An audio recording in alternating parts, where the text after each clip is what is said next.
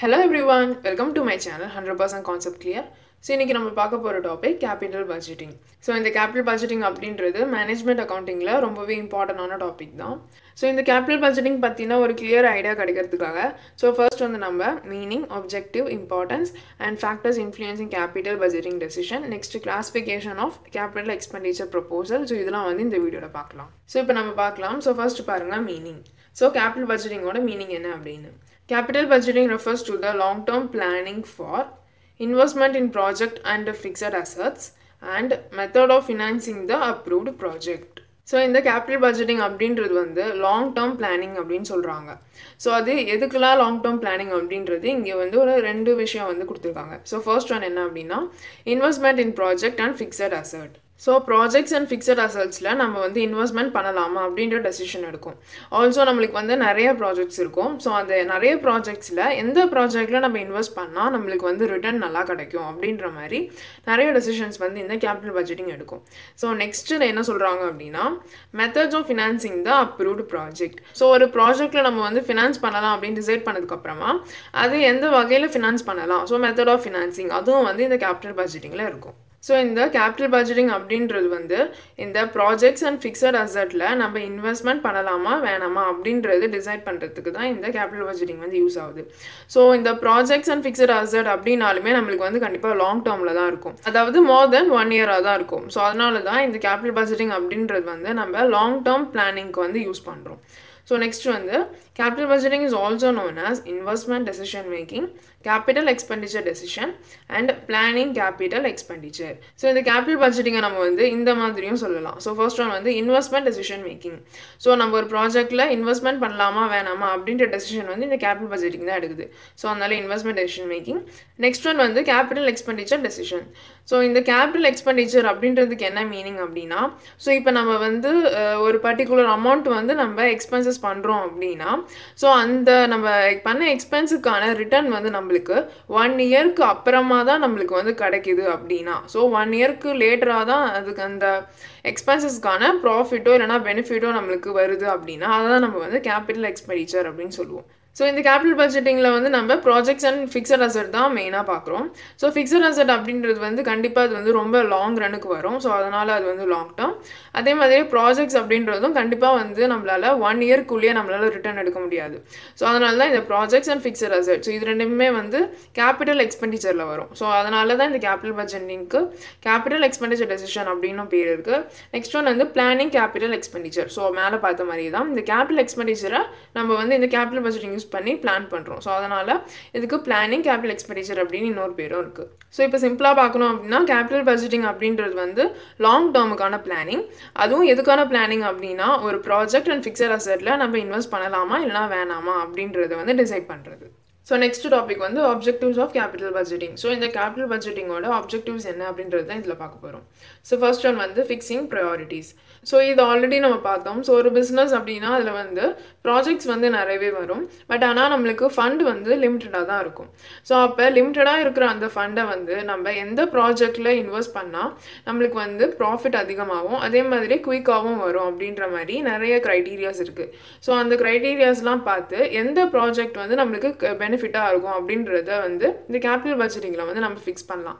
So அதுதான் வந்து fixing priorities so எந்த ப்ராஜெக்ட் வந்து ப்ரையாரிட்டி அப்படின்றத நம்ம வந்து ஃபிக்ஸ் பண்ணுறோம் நெக்ஸ்ட் ஒன் வந்து prevent cost overruns so இது என்ன அப்படின்னா ஸோ நம்மளுக்கு இப்போ நான் சொன்ன மாதிரியே நம்ம ஃபண்டு வந்து நமக்கு லிமிட்டடாக தான் இருக்கும். ஸோ நம்மளுக்கு இருக்கிற ஃபண்டை தாண்டி நம்ம அதிகமாக செலவு பண்ணாத மாதிரி நம்ம ஆல்ரெடி இந்த கேபிட்டல் பட்ஜெட்டிங்கில் பிளான் பண்ணிட்டோம் அப்படின்னா ஸோ நம்மளுக்கான ஃபண்டுக்கு ஏற்ற மாதிரி நம்ம வந்து எக்ஸ்பென்சஸ் பண்ணுவோம். ஸோ அதன் மூலமாக நம்மளோட காஸ்ட் ஓவர் ரன்ஸ் அதாவது காஸ்ட் வந்து அதிகமாக செலவாகிறது நம்மளால் ப்ரிவெண்ட் பண்ண முடியும். ஸோ நெக்ஸ்ட் ஒன் வந்து எஸ்டிமேட் கேபிட்டல் எக்ஸ்பெண்டிச்சர் ஸோ நம்மளோட கேபிட்டல் எக்ஸ்பெண்டிச்சர்ஸ்லாம் என்னது அப்படின்றது வந்து இது எஸ்டிமேட் பண்ணோம். அதாவது எந்த ஃபிக்ஸட் அசட்டில் நம்ம வந்து இன்வெஸ்ட் பண்ணுறோம் அதே மாதிரி எந்த ப்ராஜெக்ட்டும் இன்வெஸ்ட் பண்ணுவோம் அப்படின்றது வந்து இது எஸ்டிமேட் பண்ணுது. நெக்ஸ்ட் ஒன் வந்து periodical reports so periodical reports அப்படின்னா ஸோ ஒரு ப்ராஜெக்ட் நம்ம எடுக்கிறோம் அப்படின்னா ஸோ அந்த ப்ராஜெக்டில் நம்ம எவ்வளோ செலவாகும் அப்படின்றது வந்து ஒரு பட்ஜெட் போட்டிருப்போம். பட் அது இல்லாமல் ஆக்சுவலாக அந்த ப்ராஜெக்ட்டில் நம்மளுக்கு எவ்வளோ செலவாகுது அப்படின்ற கவுண்ட்டும் நம்ம வந்து வச்சுருப்போம். ஸோ அதுக்கான ரிப்போர்ட்டும் நம்ம வச்சுருப்போம். ஸோ அந்த ரெண்டு ரிப்போர்ட்டையும் நம்ம கம்பேர் பண்ணி நம்மளோட பட்ஜெட்டட் எக்ஸ்பெண்டிச்சரில் இருந்து ஆக்சுவல் எக்ஸ்பெண்டிச்சர் அதிகமாக இருந்தது அப்படின்னா ஸோ அதை வந்து எந்த வகையில் சரி பண்ணணும் அப்படின்றது ஸோ அந்த காஸ்ட்லாம் என்ன அப்படின்றத பார்த்து ரெடியூஸ் பண்ணுவாங்க. ஸோ இதுவும் வந்து கேபிட்டல் வச்சுட்டிங்களா ஒரு ஆப்ஜெக்டிவ் நெக்ஸ்ட் ஒன் வந்து மெஷர் பர்ஃபார்மன்ஸ் ஸோ நம்ம பண்ணிட்டு இருக்கிற ப்ராஜெக்ட்டோட பர்ஃபார்மன்ஸ் எப்படி இருக்குது அப்படின்றத மெஷர் பண்ணுறதுக்கும் இந்த கேபிட்டல் பட்ஜெட்டிங் வந்து யூஸ் ஆகுது.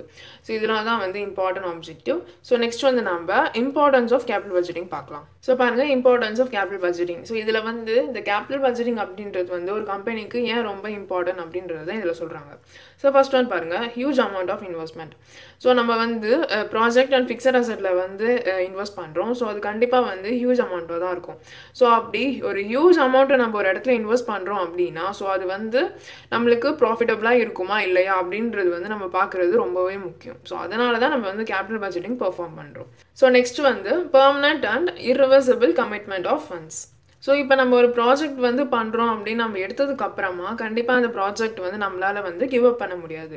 ஸோ அப்படி கிவ் அப் பண்ணாலுமே நம்மளுக்கு தான் வந்து ஹியூஜ் லாஸாக இருக்கும். ஸோ நம்ம எடுக்கிற டெசிஷன் வந்து பெர்மனண்ட்டாகவும் இருக்குது அதே மாதிரி இரிவர்சபிளாகவும் இருக்கும் ஸோ நம்மளால் அது வந்து ரிவர்ஸ் பண்ண முடியாது.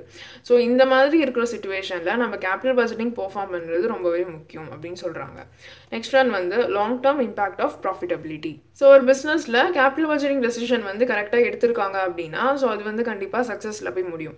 ஸோ அப்படி முடியும் போது நம்மளுக்கு கண்டிப்பாக பிஸ்னஸில் வந்து ப்ராஃபிட்டபிலிட்டி அதிகமாகும். ஸோ அது வந்து நம்மளுக்கு லாங் டேர்மில் வந்து இம்பேக்டை கொடுக்கும் அப்படின்னு சொல்கிறாங்க ஸோ நெக்ஸ்ட் ஒன் வந்து க்ரோத் அண்ட் எக்ஸ்பேன்ஷன் ஸோ ஒரு பிஸ்னஸோட க்ரோத் அண்ட் எக்ஸ்பேன்ஷனுக்கு இந்த கேபிட்டல் பட்ஜெட்டிங் டெசிஷன் அப்படின்றது வந்து ரொம்பவே முக்கியம்.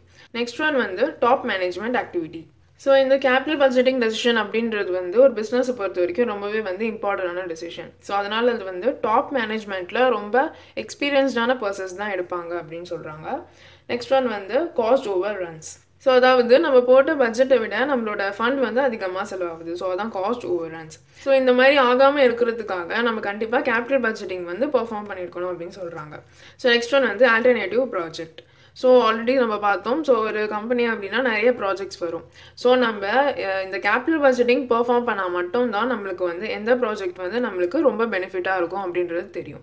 ஸோ நம்ம ஆல்டர்னேட்டிவ் ப்ராஜெக்ட் கண்டுபிடிக்கிறதுக்கு இந்த கேபிட்டல் பட்ஜெட்டிங் வந்து யூஸ் ஆகுது. ஸோ இதுதான் வந்து இம்பார்ட்டன்ஸ் ஆஃப் கேபிட்டல் பட்ஜெட்டிங் இப்போ நெக்ஸ்ட் வந்து நம்ம factors influencing capital expenditure decision பார்க்கலாம். ஸோ பாருங்கள் factors influencing capital expenditure decision so இந்த கேபிட்டல் எக்ஸ்பெண்டிச்சர் டெசிஷன் அப்படின்றது வந்து வேற ஒன்றும் இல்லை கேபிட்டல் பட்ஜெட்டிங் தான். ஸோ அதுக்கு இன்னொரு பேர் தான் கேபிட்டல் எக்ஸ்பெண்டிச்சர் டெசிஷன் ஸோ இப்போ இதில் நம்ம என்ன பார்க்க போகிறோம் அப்படின்னா ஸோ இவ்வளோ நேரம் நம்ம வந்து டெசிஷன் எடுப்போம் அப்படின்றது சொல்லிட்டு இருந்தோம். ஸோ அந்த டெசிஷன் அவங்க எந்த ஃபேக்டர்ஸோட பேசிஸில் எடுப்பாங்க அப்படின்றத இங்கே சொல்லியிருக்காங்க. ஸோ ஃபர்ஸ்ட் ஒன் பாருங்க அவைலபிலிட்டி ஆஃப் ஃபண்ட் ஸோ ஒரு பிஸ்னஸில் எந்த அளவுக்கு அவங்கக்கிட்ட ஃபண்ட் இருக்கோ அதுக்கேற்ற மாதிரியான ப்ராஜெக்டில் தான் இன்வெஸ்ட் பண்ண முடியும். ஸோ அதனால் ஃபண்ட் வந்து ரொம்பவே முக்கியம். ஸோ அவங்களுக்கு எந்த சைஸில் வந்து ஃபண்ட் இருக்கோ அதுக்கேற்ற மாதிரி ப்ராஜெக்டில் இன்வெஸ்ட் பண்ணுவாங்க. ஸோ இது வந்து ஒரு ஃபேக்டர் நெக்ஸ்ட் ஒன் வந்து ஃப்யூச்சர் ஏர்னிங் ஸோ இப்போ நம்ம ஒரு ப்ராஜெக்ட்டில் வந்து இன்வெஸ்ட் பண்ணுறோம் அப்படின்னா அந்த ப்ராஜெக்ட் நம்மளுக்கு வந்து ஃப்யூச்சரில் எவ்வளோ ஏர்னிங்ஸ் கொடுக்கும் அப்படின்றத பேஸ் பண்ணியும் இந்த கேபிட்டல் டெசிஷன் வந்து எடுக்கிறாங்க. நெக்ஸ்ட் ஒன் வந்து degree of uncertainty or risk so இப்போ ஒரு ப்ராஜெக்ட் நம்ம எடுக்கிறோம் அப்படின்னா அந்த ப்ராஜெக்டில் எவ்வளோ ரிஸ்க் இருக்குது எவ்வளோ அன்சர்டனான திங்ஸ் இருக்குது அப்படின்றத நம்ம டிசைட் பண்ணியும் அந்த ப்ராஜெக்டை எடுக்கலாமா வேணாமா அப்படின்றது வந்து நம்ம டிசைட் பண்ணுறோம் நெக்ஸ்ட் ஒன் வந்து அர்ஜென்சி ஸோ இது என்ன அப்படின்னா ஸோ இப்போ சம் ப்ராஜெக்ட்ஸ் வந்து அந்த ஃபிம்மோட சர்வைவலுக்கு ரொம்பவே இம்பார்ட்டண்ட்டாக இருக்கும். ஸோ அப்போ அந்த மாதிரியான ப்ராஜெக்ட்லாம் அவங்க வந்து ஆப்ஷன்ஸ்லாம் பார்க்க மாட்டாங்க. ஸோ அது வந்து அர்ஜென்ட்டான பேசிஸில் வந்து அவங்க எடுத்துருவாங்க. நெக்ஸ்ட் ஒன் வந்து research and development projects so இதெல்லாம் என்ன ப்ராஜெக்ட்ஸ் அப்படின்னா ஸோ சில ப்ராஜெக்ட்ஸ் வந்து நம்ம பண்ணுறதுனால நம்மளுக்கு வந்து நியூ ப்ராடக்ட்ஸ் இல்லைனா நியூ மெத்தட்ஸ் இல்லைனா நியூ டெக்னிக்ஸ் வந்து நம்மளுக்கு வந்து கிடைக்கும். ஸோ அதெல்லாம் வந்து நம்ம ரிசர்ச் அண்ட் டெவலப்மெண்ட் ப்ராஜெக்ட்ஸ் அப்படின்னு சொல்லுவோம். ஸோ அந்த மாதிரி இருக்கிற ப்ராஜெக்ட்ஸை கூட அவங்க வந்து எடுக்கிறதுக்கு சான்ஸ் இருக்குது பிகாஸ் இதுக்கும் வந்து அவங்க ப்ரையாரிட்டி கொடுக்குறாங்க. நெக்ஸ்ட் ஒன் வந்து ஒப்சலன்சஸ் ஸோ இது வந்து நம்ம இவ்வளோ நேரம் ப்ராஜெக்ட்ஸ்க்கு பார்த்தோம். ஸோ இது என்ன அப்படின்னா இது வந்து ஃபிக்ஸட் அசட்க்கு ஸோ இப்போ ஒரு ஃபிக்ஸட் அசெட் வந்து ரொம்ப இயராக நம்ம கிட்ட இருக்குது அப்படின்னா அது கண்டிப்பாக வந்து அப்சலன்ஸ் ஆகும். அதாவது டெப்ரிஷியேட் ஆகும். ஸோ அப்படி டெப்ரிஷியேட் ஆன ப்ராடக்ட்டை அதாவது ஃபிக்ஸட் அசெட்டை கண்டிப்பாக நம்ம வந்து பிஸ்னஸில் வச்சு ரன் பண்ண முடியாது.